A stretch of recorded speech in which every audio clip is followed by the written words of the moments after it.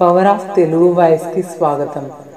ఈరోజు మనం తుపాకీకే తాలికట్టిన విప్లవ వీరుడు చంద్రశేఖర్ ఆజాద్ గురించి ఈ వీడియోలో తెలుసుకోబోతున్నాం. సంప్రదాయ కుటుంబంలో పుట్టి గాంధీ బాటలో అడుగుపెట్టి అసంతృప్తితో తుపాకీ పట్టి భగత్ సింగ్తో కలిసి భారత్లో విప్లవ పోరాటానికి ఊపునిచ్చిన అరుదైన వీరుడు చంద్రశేఖర్ సీతారాం తివారీ. తన పేరుకే స్వాతంత్రాన్ని ప్రకటించుకొని తుపాకీకే తాలి కట్టి ఆంగ్లేయులకు చిక్కబోను అనే ప్రతిజ్ఞ నిలబెట్టుకున్న అమరుడు చంద్రశేఖర్ ఆజాద్.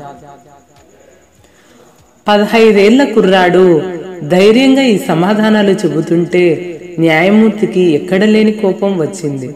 ఇరవై మూడు వారాల జైలు రోజు పదహైదు కొరడా దెబ్బలు శిక్షగా విధించాడు. ఆ క్షణమే మళ్ళీ జీవితంలో ఆంగ్లేయులకు దొరకబోనని ప్రతినబూనిన ఆ కుర్రవాడు చంద్రశేఖర్ ఆజాద్గా పేరొందాడు. అలీరాజ్పూర్ సంస్థానంలో పంతొమ్మిది వందల ఆరు జూలై ఇరవై మూడున జన్మించాడు చంద్రశేఖర్ ఆజాద్. ప్రస్తుతం మధ్యప్రదేశ్లో ఉంది ఈ సంస్థానం. చంద్రశేఖర్ ఆజాద్ ఆదివాసీ బిల్లులతో కలిసి పెరిగాడు. మంచి విలుకాడు. తల్లి కోరిక మేరకు ఉన్నత చదువు కోసం వారణాసి సంస్కృత పాఠశాలలో చేరాడు. అక్కడ ఉండగానే జలియన్ వాలాబాగ్ ఊచకోత చోటు చేసుకుంది.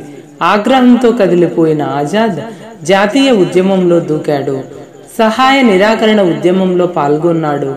ఈ సందర్భంగా అరెస్ట్ అయినప్పుడే న్యాయమూర్తికి ధైర్యంగా సమాధానాలిచ్చి జైలు పాలయ్యాడు అప్పుడే జై మళ్ళీ జైలుకు రానని స్వేచ్ఛగా మరణిస్తానని ప్రతిజ్ఞ చేశాడు. ఇంతలో చౌరీ చోరా సంఘటన అనంతరం గాంధీజీ సహాయ నిరాకరణ ఉద్యమాన్ని ఆపేయటంతో ఆజాద్ తీవ్ర నిరాశకు గురయ్యాడు. ఎలాగైనా భారత్కు బ్రిటిష్ వారి నుంచి విముక్తి కలిగించాలని విప్లవ మార్గం వైపు మళ్ళాడు. రామ్ ప్రసాద్ బిస్మిల్ అష్రఫుల్లా ఖాన్ల ప్రభావంతో హిందుస్థాన్ రిపబ్లిక్ అసోసియేషన్ హెచ్ఆర్ఏలో చేరాడు. కకోరి రైలు దోపిడీ తర్వాత బిస్మిల్ తదితరులను ఆంగ్లేయ ప్రభుత్వం అరెస్ట్ చేసి ఉరితీసింది. ఈ కేసులో పట్టుబడకుండా తప్పించుకున్న ఆజాద్ ఝాన్సీ సమీపంలో పండిట్ హరిశంకర్ బ్రహ్మచారి పేరుతో సన్యాసి అవతారం ఎత్తి స్థానిక గ్రామస్తులతో సత్సంబంధాలు ఏర్పరచుకున్నాడు. ఈ సమయంలోనే భగత్ సింగ్ రాజ్గురు సుఖ్దేవ్ లాంటి తదితరులతో కలిసి హెచ్ఆర్ఏను హిందుస్థాన్ సోషలిస్ట్ రిపబ్లిక్ అసోసియేషన్గా పునర్వ్యవస్థీకరించాడు. ఝాన్సీ సమీపంలోని అడవుల్లో సహచరులకు తుపాకీ కాల్చడంలో శిక్షణ ఇచ్చాడు.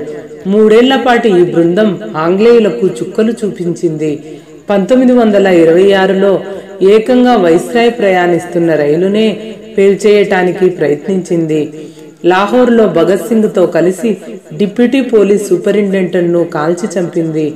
ఆ ఘటనలో కూడా ఆజాద్ తుపాకీకి పని చెప్పాడు. కుటుంబ నేపథ్యాలు భిన్నమైన ఆజాద్ భగత్లకు మంచి స్నేహం కుదిరింది. ఇద్దరు సమాజంలో సమానత్వం ఆంగ్లేయుల నుంచి విముక్తిని బలంగా కోరుకున్నారు. లాహోర్ దాడికి ముందు ఎవరిని పెళ్ళాడుతావని భగత్ సింగ్ సరదాగా అడిగితే బంతుల్ బొకారాతో పెళ్ళి ఎప్పుడో అయిపోయింది అని బదులిచ్చాడు ఆజాద్. అనగా తన పిస్తోల్ను అలా తను బంతుల్ బొకరా అని పిలుచుకునేవాడు ఆజాద్. తన నిర్వహణ సామర్థ్యంతో అనేక సార్లు సహచరులను ఇబ్బందుల్లోంచి బయటపడేసిన ఆజాద్ ఢిల్లీ సెంట్రల్ లెజిస్లేటివ్ అసెంబ్లీలో బాంబు పెట్టేందుకు భగత్ సింగ్ వెళ్తానంటే వారించాడు. ఇంత చిన్నదానికి వెళ్ళి ఇరుక్కోవటం సరికాదన్నాడు. కానీ భగత్ సింగ్ పట్టు వీడకపోవటంతో ఏమీ చేయలేకపోయాడు. చివరకు ఆజాద్ ఊహించినట్లే జరిగింది.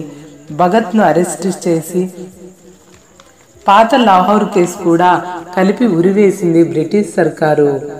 ఎంత ప్రయత్నించినా దొరకకుండా తప్పించుకుంటూ ఆజాద్ ఆంగ్లేయులకు కంట్లో నలుసుగా మారాడు. పంతొమ్మిది వందల ముప్పై ఒకటి ఫిబ్రవరి ఇరవై ఏడున సుఖ్దేవ్తో మాట్లాడటానికి అలహాబాద్లోని ఆల్ఫ్రెడ్ పార్కుకు చేరుకున్నాడు. ఆజాద్ పాత సహచరులు ఇద్దరూ దీనిపై ఆంగ్లేయ సిఐడి అధికారి నాట్ బోవర్కు ఓ అందించారు. వెంటనే బ్రిటిష్ పోలీసులు పార్కు నాలుగు వైపుల నుంచి చుట్టుముట్టారు. కాల్పులు మొదలయ్యాయి. సుఖ్దేవ్ తప్పించుకొని పారిపోగా ఆజాద్ ఇరుక్కుపోయాడు. చెట్టుచాటు నుంచి కాలుస్తూ తప్పించుకోవాలని చూసినా కుదరలేదు. చివరకు పోలీసులు దగ్గరికి వస్తుండటంతో ఆంగ్లేయులకు పట్టుబడను అనే ప్రతిజ్ఞను నిలబెట్టుకుంటూ చివరి బుల్లెట్ను తన తలకే గురిపెట్టుకొని స్వేచ్ఛగా ప్రాణాలు విడిచాడు ఆజాద్. ఆయన మృతదేహాన్ని ప్రజలకు చెప్పకుండా శ్మశానానికి తరలించింది ఆంగ్లేయ ప్రభుత్వం. కానీ ఎలాగోలా విషయం తెలియగానే భారీ స్థాయిలో చేరుకున్నారు. ఆయన చితాభస్మాన్ని తీసుకుని ఊరంతా ఊరేగించారు. ఆజాద్ మరణించిన ఆ పార్కుకు ఇప్పుడు ఆయన పేరే పెట్టారు. ఫ్రెండ్స్ మీకు ఈ వీడియో కనుక నచ్చినట్లయితే లైక్ చేయండి షేర్ చేయండి సబ్స్క్రైబ్ చేయడం మాత్రం మర్చిపోవద్దు సుమా.